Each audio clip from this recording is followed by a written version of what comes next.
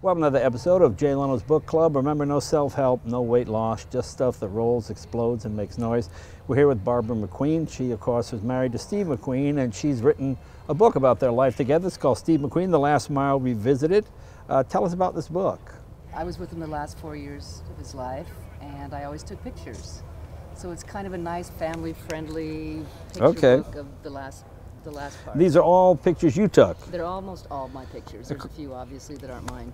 There's a lot of great car and motorcycle pictures in here, but a lot of personal ones as well. What's Steve doing in this picture? What's what's Steve's happening? making mashed potatoes, and right here is Steve's favorite pork chop recipe. So that is, and you really Oh, okay, it. No, all I right. It's good. It's deadly good. Are you surprised that 30 years later, what an icon he's become? Did you ever? I mean, obviously you loved him and were married to him. But I didn't And- know who he was when I met him. I thought it was going to be Paul Newman. Uh, but I mean, as many movie stars from that era have faded, or younger people go, "Who's that? Oh, I don't know who they are."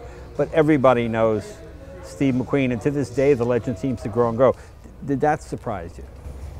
At first, it surprised me a lot, but I, we've been traveling a lot with the book, and people in Europe, people in Sure. Japan, and I mean, he was a really good man. He was a good man, and he was true, true to his bikes, true to his cars. Yeah. In the end, true to his, his airplanes. You know, I got to know him a little bit because Bud Ekins was a friend of mine, and he and Bud, of course, are very close. But Ekins did the, was a stunt man and a Triumph dealer, and he did the jump and the Great Escape, and There's a chapter on Bud in here. yeah, and he did the. Uh, he was the guy that slid the motorcycle and Bullitt, you know, by the gas station and all that kind of stuff. That's right. Yeah, and uh, was this you guys having fun? What's going on That's here? One of the old, oh, it's an Ace. Yeah, we Yeah. were on uh, in Trancas. I have an, a motorcycle like that too. I have an Ace, a 1924, just like that one. Yeah, you know, he was a very down-to-earth guy. He would always come to the motorcycle shops, and he was never Steve McQueen, the actor. He was always Well, just he was seriously interested in it. I mean, he really went Right. parts on the ground at the swap meets, and and uh, there he is, real. like a true gar, car guy, washing his Hudson Hornet right there. Yep. Very good. And I think this one sold sold yesterday, didn't it? Isn't this the? Uh, I don't, I don't know if it's sold just yet. I remember seeing it there. Okay.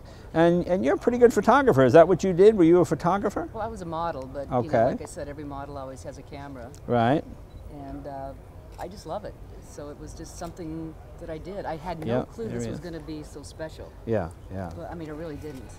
But it just turned out to be pictures that nobody else has. They're not press pictures. They're not movie pictures. They're just down home pictures. Now, were you a car and motorcycle and airplane person before you met Steve? Yep. Oh, you were. Oh yeah, I was oh, Okay. born on a dairy farm. I love grease and dirt and Oh, very cool. anything that has an engine and brakes all So, how did you guys meet? Where did you meet? I was a model in New York, and he saw a picture of me in a magazine. He made a call to my I agent. say, see, see, I can't do that. yeah, you can. I can. can't. See, maybe that's can. that's the epitome of cool. You see a beautiful girl in a magazine. Oh, uh, get me her number. So, did you know who he was when he called you? No, I, my, because I haven't seen any of his movies, and I still really haven't Really? seen. I've seen Blob and the Tower, uh, Towering Inferno. Okay, Blob, you're not going to get him, I don't think. I don't think you're going to watch the Blob and go, yeah, that's the guy for me. Or maybe you did. Well, see, the guy that was the movie star guy, the actor, and the, the man are two different people. Right. So, Is that you on the cover of Cosmo? uh huh. Oh, there you go. That's all right. Cool. Look at that. Way back when, but yes, Yeah? it is. Yeah. And Is- this was the picture that he, he liked. That one. Go Okay. figure. That's not. That's the best picture he liked. It's not my best. I can see why he liked that. Uh, that's a guy thing. You know, all the Steve McQueen books we've seen lately have been mostly just about the cars and the motorcycle. And this is about his life and your life with him together, right? Yeah, it's just it's just a quiet little book. It's nice for your grandkids. It's nice for you know anybody. It's an Yeah. easy read. Lots of photos, and um, it's from the heart. Yeah. There's no trash, no nothing bad. In And where, where, where can they get this? Is it available everywhere? Do you have a Uh, website? This is the brand new one, so this is just coming out. But DaltonWatson.com, you can get it. Mm -hmm. And I have my website, which is BarbaraMintyMcQueen.com, Okay. and it's available there too. Well, very good. So Well, if you've got all the other Steve McQueen books, you have to get this one. It just fits in. And I'm sure there's a lot of pictures in here that have never been uh, seen before. Is that correct? well, they've sat under my bed for 25 years. Nobody had ever seen them, and Yeah. somebody said, "Oh my God, you Okay, have to get those out." There's this plane right there. One of three. That's the uh, Yeah. mail plane. Yeah, very cool. Yeah. Yeah, he was out at uh, Santa Paula Airport. We lived in an airplane hangar for a couple years. Yeah, yeah, I've been out to that hangar. There you go. That's you can tell he's a real car guy. That's that is not a collector truck. although it is now. Hey. Now it is. Okay, the tail end of this truck sits outside of Fairfield, Idaho. Oh, is that right? Yeah, you still have it? No, I don't have it. I Yeah. parted it, parted it out. Of course, there's his famous, uh, there's a car, that Jag, the XKSS.